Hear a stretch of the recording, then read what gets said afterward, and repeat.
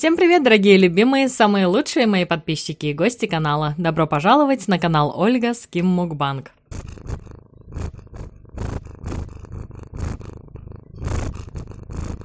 Мохнатый артист вас тоже приветствует.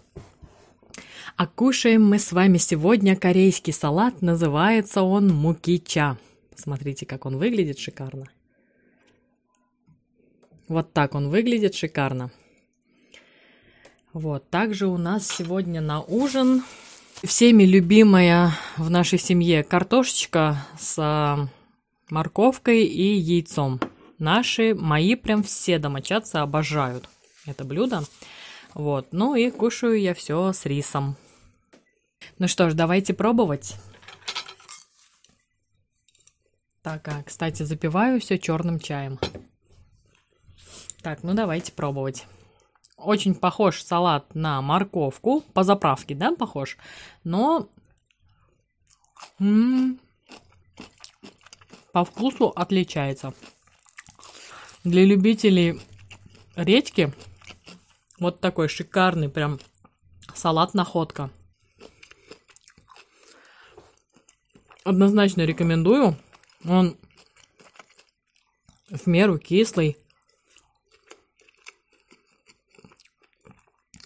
Очень ярко чувствуется вкус редьки.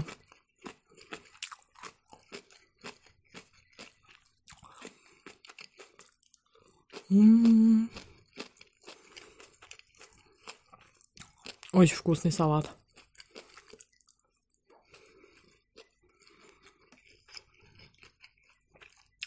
Картошечку мы тоже такую очень любим, знаете. Когда не знаешь, что готовить, уже все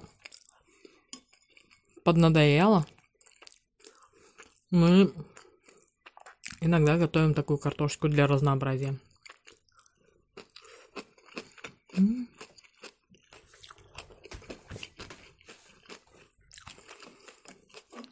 Очень вкусный салат.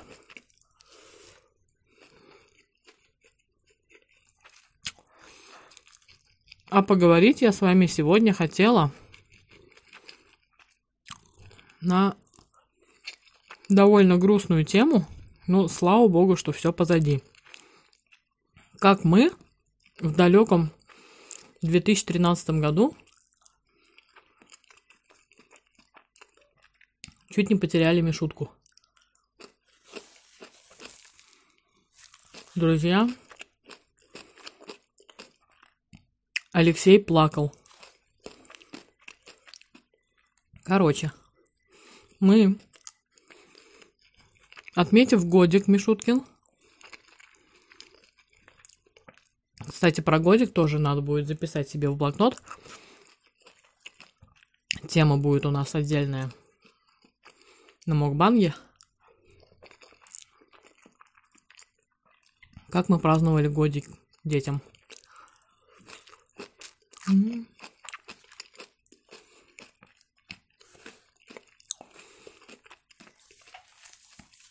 Отпраздновали Мишутки годик. И буквально на следующий день улетели в Турцию отдыхать. Вот. Скажу вам честно, в 2013 году я первый раз в жизни увидела море. Настоящее море. Когда мы жили в Ташкенте, мы, безусловно, ездили там на Червакское водохранилище, да, на Ташморе. Но это все не то. А вот настоящее море с соленой водой первый раз в жизни я увидела в 2013 году. М. Галина мне скажет, надо в свою тарелку накладывать, а не кушать с общей, да? Положу.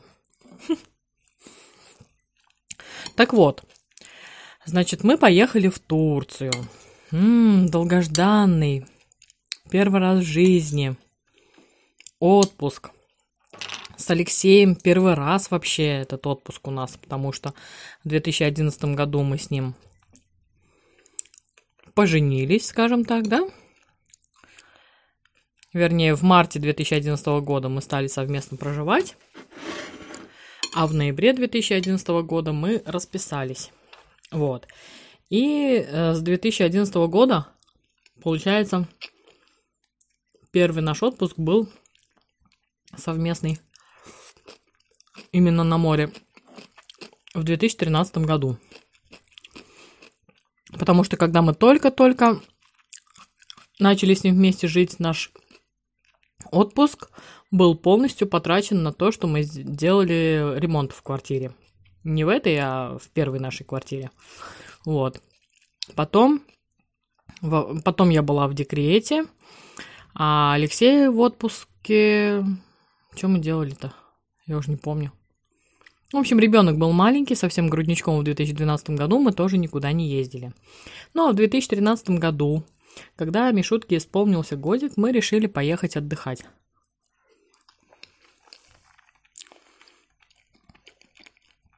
В Турцию. Все было очень хорошо. Все счастливы. Дети счастливы. Естественно, семилетний, там, скольки, семь с половиной лет Олегу было. Он тоже первый раз в жизни увидел море. Мишутка еще маленький совсем. Он тоже первый раз увидел море. В общем, Мишу, Мишутку кормила немножко грудью, немножко смесью и взяла с собой огромное количество всяких баночек, пюрешек, мясных детских баночек. Вот, и молочку мы взяли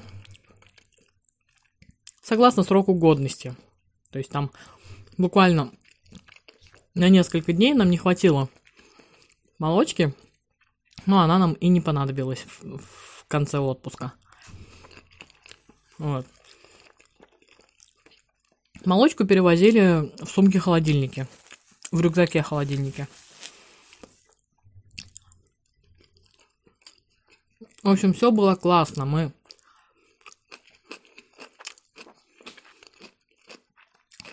каждый день ходили на море. Я и плавать тогда не умела. Сейчас я как рыба в воде, как русалка. А в 2013 году я и плавать не умела. Мы купили такие, знаете, оранжевые жилеты на взрослых. На меня, вернее.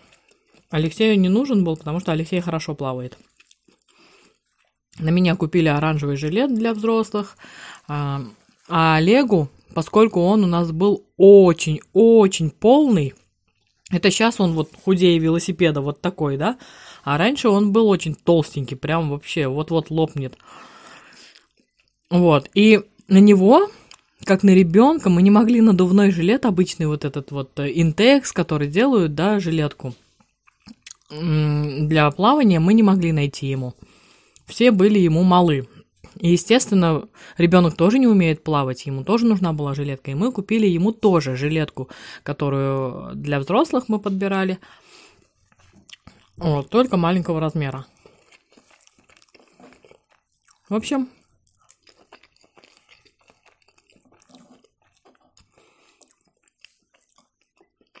одевали эти жилетки, купались в море. У Мишутки был круг. У Мишутки была лодка такая надувная, маленькая, для малышей совсем. Он боялся воды в море, потому что она с волнами же. А в бассейне купался с удовольствием. А мы как? Мы с утра на завтрак ходили, потом шли на море. Потом шли на обед. Потом Мишутка у нас спал. А вечером, ну, как после обеда, после дневного сна Мишуткиного, мы шли в бассейн. В бассейне Мишутка купался с большим удовольствием. Ну, потому что вода спокойная, не волнуется, не пугает его. Вот. И мы довольно много времени проводили в бассейне.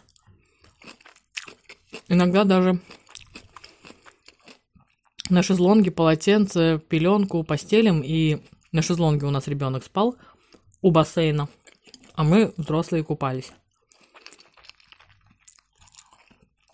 Вот. И в один ужасный день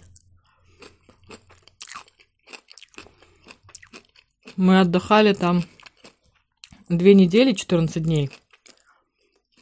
Ну, примерно день, наверное, на девятый, десятый, вот буквально чуть-чуть оставалось до конца нашего отпуска. Мишутке стало плохо. Ночью это началось. Он раз вырвал. Два вырвал. К столу будет сказано, у него открылась очень сильная рвота.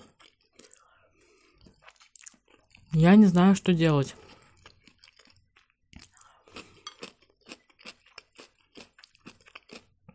Из лекарств я не помню, что у меня было с собой.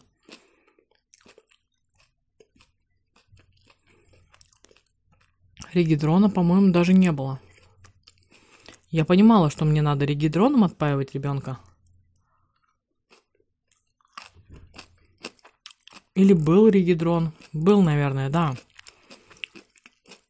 Я ему развела регидрон, стала поить, а ни черта не помогает. Там две чайные ложечки через каждые 10 минут дробно дам ему. Так он мне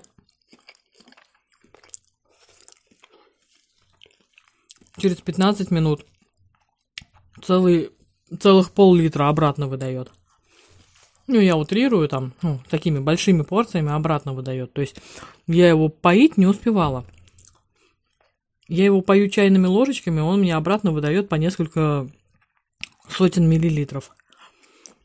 Блин, что делать? Еле-еле дождалась утра, позвонила педиатру своему. московскому. Говорю, вот так и так. На что она мне говорит? Срочно вызывай скорую. Тамошние врачи знают, что делать в таких ситуациях. Они уже не раз с такими а, случаями сталкивались. Срочно, пока вот прям совсем-совсем обезвоживание не наступило, вызывай скорую. Я, короче, вызываю скорую. Ну как скорую вызываю? Побежала на ресепшн, мне помогли вызвать скорую, приехала скорая, доктор померил температуру, посмотрел ребенка и сказал срочно госпитализировать. Короче, нас забрали с Мишуткой. Алексей с Олегом остались дома, в отеле.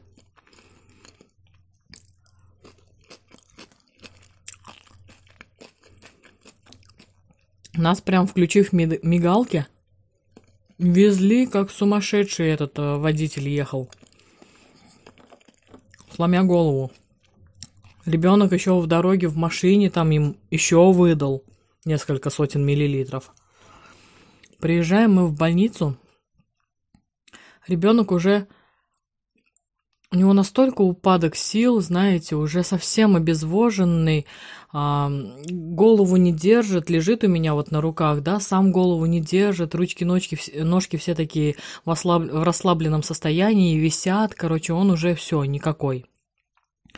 Друзья, вы себе не представляете, на тот момент просто вот врагу не пожелаешь такого пережить, ты сидишь, ждешь, когда тебя доктор примет наконец, кучу бумажек еще параллельно заполняешь. А, с коляской нам туда разрешили приехать. Вот, ребенок в коляске, никакой лежит. Я документы все эти заполняю. В общем, потом мы ждали, когда нас доктор примет. И нас приняли. Нас приняли. А, эта клиника, я так поняла, частная. По страховой все оформили, значит. И в этой клинике была девочка русская. Как же ее звали, не помню. Из Иванова. Елена, что ли, из Иванова. Вот, она работала там переводчиком. И, в общем, то, что доктор говорит по-турецки, она мне переводит. У ребенка очень сильное обезвоживание, надо срочно, говорит, его ложить, э, ну, госпитализировать в больницу, то есть домой уже нас не отпускают, вот, и капельницу делать. Я говорю, ну, конечно, давайте, надо, так надо.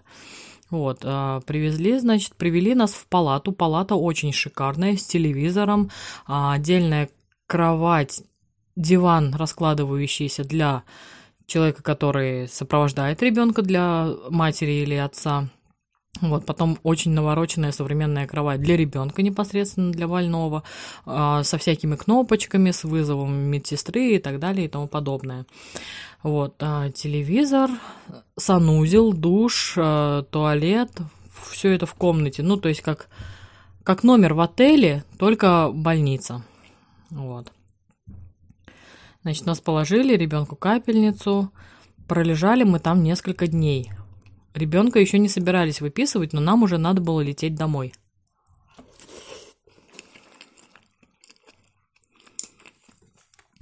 Я это все доктору объяснила. В общем, ребенка лечили в круглосуточном, поря... Э, в круглосуточном режиме практически. Ему капали капельницу. Кушать ничего нельзя было. Питали его капельницей. Вот. Он даже, насколько эмоциональный у нас Мишутка с самого рождения – Он даже плакать не мог нормально.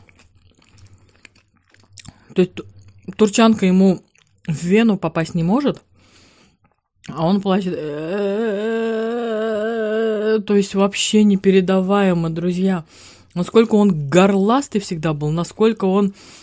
Когда мы приехали в Москву, мы продолжили лечиться в Москве на шоссе энтузиастов, где-то в инфекционке лежали. Друзья, вот, вот в Москве нас, знаете, почему выписали? Потому что он орал.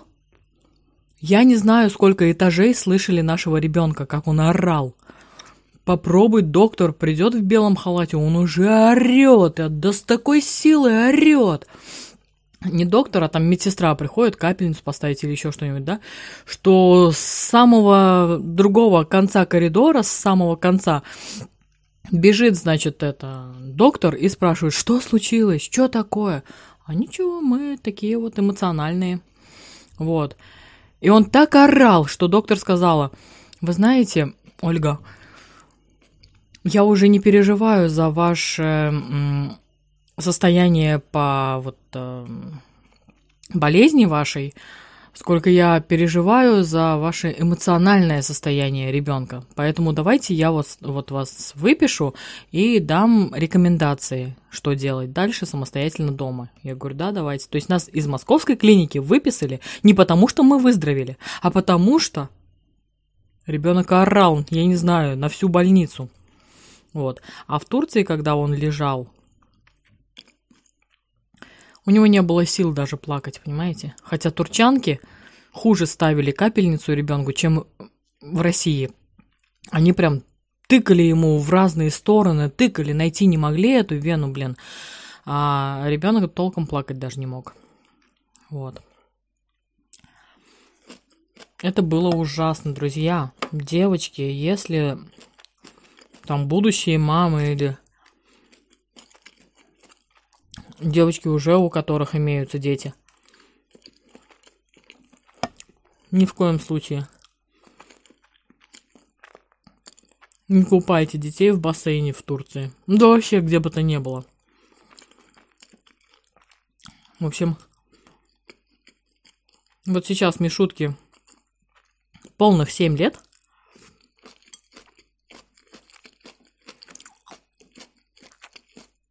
Ему до сих пор нельзя купаться в бассейне и заходить в бассейн дальше, чем по колено. Он, конечно, уже оборзел,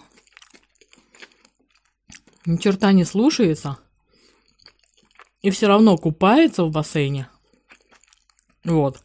Но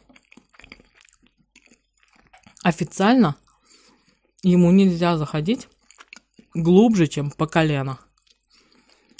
Чтобы, не дай бог, в носоглотку не попала вода из бассейна.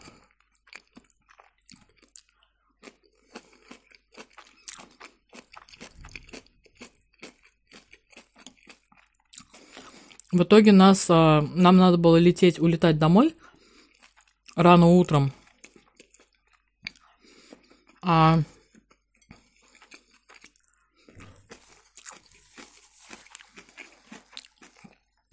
поздно вечером нас из больницы на такси, вернее, не, не на такси, а это, наверное, больничная тамошняя машина, ну, местная, вот, служебная. На этой машине нас привезли в отель. Привезли в отель, ребенок весь перекачанный, у него вот, а, если нормальное лицо вот было такое, например, да, ну, там, я не знаю, у ребенка какое, да, то лицо, щеки стали, я не знаю, раз, раза в четыре, наверное, больше. Руки, вот прям не вру, круглые, вот такие. Пальцы не сгибались. Пальцы прям такие, как бочонки, то есть его перекачали этим, э, как называются, капельницей. Вот. Когда папа его увидел, Алексей, на ресепшене он нас встретил – он плакал.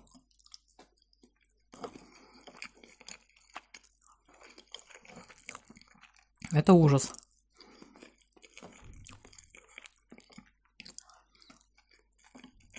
Никому такого не пожелаешь. Никому. Никогда, девчонки, берегите. Что я вам хочу сказать? Я вам потом расскажу, чем история кончилась. Мы же не выздоровели, уезжая из Турции.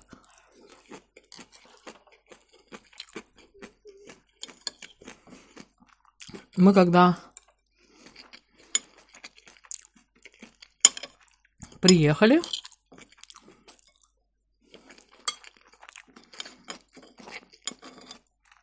нас с Мишуткой не через трап мы выходили, а по какой-то служебной лестнице. Первыми нас по этой служебной лестнице вместе с доктором проводили в медпункт. То есть мы с ним не проходили никаких пограничников.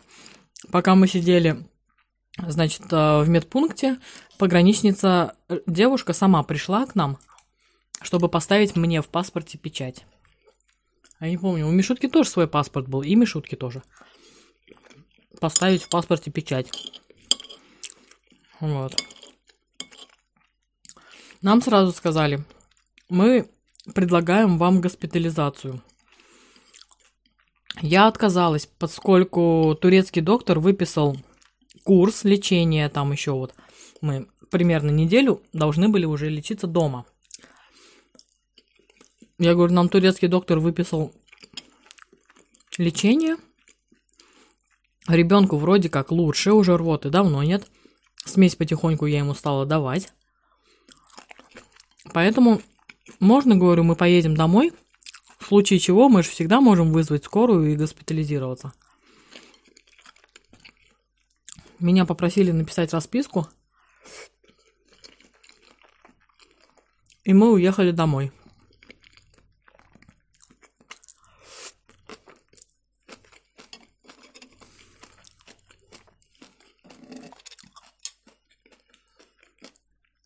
Следующем видео расскажу вам, чем дело кончилось. В конечном итоге. Ну, эпопея это длилась у нас до 2013 летом мы съездили вот так отдохнуть. История у нас длилась до мая 2014 года.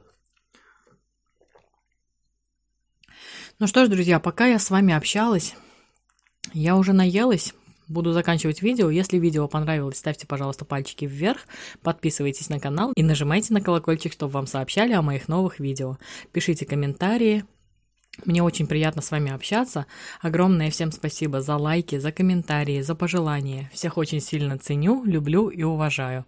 А также всем спасибо за просмотр. Всем пока-пока. Приходите еще. Увидимся завтра.